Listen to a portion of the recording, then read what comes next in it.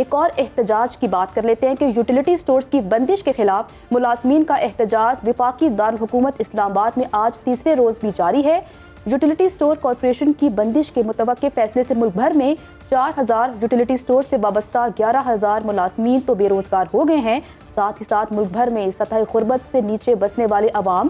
جنہیں utility store سے کھانے پینے کی بنیادی اشیاء جو سستے داموں دستیاب تھی وہ بھی اس سے کافی متاثر ہوئے ہیں۔ جہاں حکومت اور یوٹیلیٹی سٹورز ملازمین کی مذاکراتی ٹیموں میں آج ایک بار پھر سے مذاکرات متوقع ہیں۔ اسلام آباد میں احتجاج تیسرے روز بھی ریڈ زون کو مکمل طور پر سیل رکھا گیا ہے۔ کیا صورتحال ہے؟ اسی بارے میں بات کر لیتے ہیں۔ سردار اویس ہمارے ساتھ موجود ہیں۔ سردار اویس بتائے گا آج مذاکرات کا امکان بھی ظاہر کیا گیا ہے۔ کیا کچھ ایسا امکان دکھائی دے رہا ہے کہ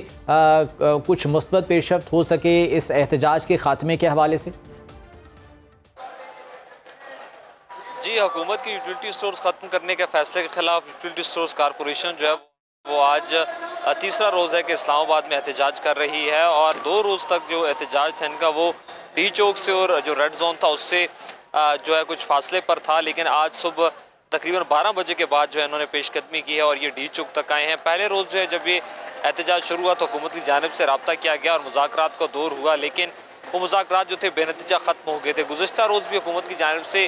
رابطہ نہیں کیا گیا تھا، لیکن گزشتہ شام جو ہے وہ پھر رابطہ کیا گیا اور آج کا وقت لیا گیا تھا مذاکرات کے لیے۔ لیکن آج صبح ہی حکومت کی جانب سے کوئی رابطہ دوبارہ نہ کیا گیا، جس کے بعد جو پیش قدمی کرتے ہوئے جو ملازمین ہیں، یہ اس وقت این ڈی چوک کے وسط میں موجود ہیں۔ گو کہ ریڈ زون کو اس وقت سیل کر دیا گیا اور یہ یہاں پر موجود ہیں۔ اب سے کچھ دیر پہلے جو نمائندہ کمیٹی ہے یوٹیلیٹی سٹور کارپوریشن ملازمین کی، وہ مذاکرات کے لیے یہاں سے روانہ ہو چکی اور ذرائع کے مطابق رانا ثناء اللہ نے جو ہے وہ مذاکرات کی دعوت دی ہے، جو کہ وزیر اعظم کے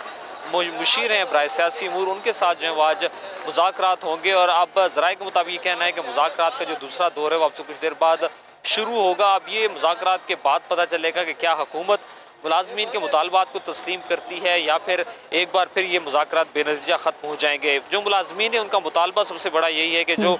فیصلہ ہے حکومت کا یوٹیلیٹی سٹورز کو ختم کرنے کا اسے فوری طور پر واپس لیا جائے۔ مزید کسی بھی قسم کی سبسڈی کا مطالبہ تو ناظرین کو بتائیے گا دیکھنے والوں کو بتائیے گا کہ حکومت نے یوٹیلیٹی سٹورز بند کرنے کا فیصلہ کن بنیادوں پر کیا؟ جی حکومت کی جانب سے جو فیصلہ کیا گیا تھا کہ یوٹیلیٹی سٹورز کو جو ہے وہ ختم کیا جائے چونکہ سالانہ جو ہے وہ اربوں روپے کی سبسڈی یوٹیلیٹی سٹورز پر دی جاتی ہے۔ اشیاء کو جو ہے وہ باقی مارکیٹ کی نسبت جو ہے وہ سستا کیا جاتا ہے اور پھر جو عام آدمی ہے پیسہ ہوا طبقہ اس تک جو ہے یہ پہنچایا جاتا ہے۔ لیکن اس میں شکایات حکومت کی جانب سے یہ بھی بتایا گیا کہ چونکہ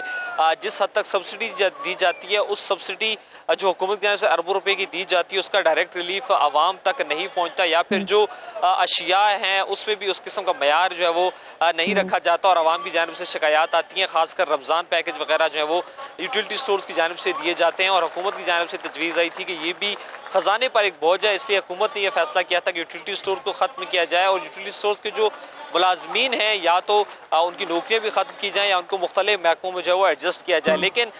جب شروع میں یہ فیصلہ آیا اس کے خلاف مزاوت بھی ہوئی لیکن جب حکومت اسے حتمی فیصلے پر پہنچ گئی کہ اب یوٹیلیٹی سٹورز کو ختم کرنا ہے تو اس کے خلاف پورے پاکستان سے جو یوٹیلیٹی سٹورز کارپوریشن ہے انہوں نے اسلام آباد کا رخ کیا اور اس وقت پورے پاکستان سے جو ملازمین ہیں اچھا سردار ویس یہ بھی حکومت کی جانب سے کہا گیا تھا کہ یوٹیلیٹی سٹورز کو بند نہیں کیا جا رہا بلکہ اس کی تشکیل نو کی جا رہی ہے۔ وفاقی وزیر صنعت و پیداوار کی جانب سے یہ وضاحت جو ہے وہ دی گئی تھی۔ ابھی آپ نے بتایا کہ رانا ثناء اللہ نے مذاکرات کے لیے بلایا ہے۔ کیا مذاکراتی ٹیم میں اور لوگ بھی شامل ہیں؟ دیگر وفاقی وزراء بھی شامل ہیں؟ جی دیکھیں، شروع میں جب حکومت کی جانب سے فیصلہ کیا گیا، جب یہ تجویز سامنے آئی کہ یوٹیلیٹی سٹورز کو جو ختم کیا جائے، جس کے بعد جو ہے وہ مختلف حلقوں سے اس پر تنقید ہوئی، خاص کر پاکستان پیپلز پارٹی جو کہ اس وقت بھی حکومت کا، جو ہے حکومتی بینچوں پر بیٹھتی ہے، ان کے جو دو رہنما ہیں، جن میں نفیسہ شاہ ہیں، انہوں نے آج جہاں پر دھرنے سے جو اب سے کچھ دیر پہلے خطاب کیا ہے، خورشید شاہ نے بھی پارلیمان میں جو ہے ملازمین کی حمایت کی ہے، تو اس کے بعد حکومت نے یہ فیصلہ کیا کہ اس کی تشکیلی نو کی جائے گی اور جو ملازمین ہیں، اگر وہ زیادہ ہیں تو ان کو مختلف محکموں میں ایڈجسٹ کیا جائے گا۔ اس وقت جو مذاکرات کی صورتحال میں بتاؤں تو پہلے یہ مذاکرات وفاقی وزیر صنعت و پیداوار رانا تنویر حسین کے ساتھ ہونے تھے لیکن چونکہ ان کے بھائی کی وفات ہوئی تھی جس کے بعد جو مذاکرات میں ڈیڈ لاک آیا تھا تو آج جو وہ رانا ثناء اللہ کے ساتھ مذاکرات ہو رہے ہیں اب تک اس میں کوئی دیگر وفاقی وزراء تو شامل نہیں ہے تاہم جو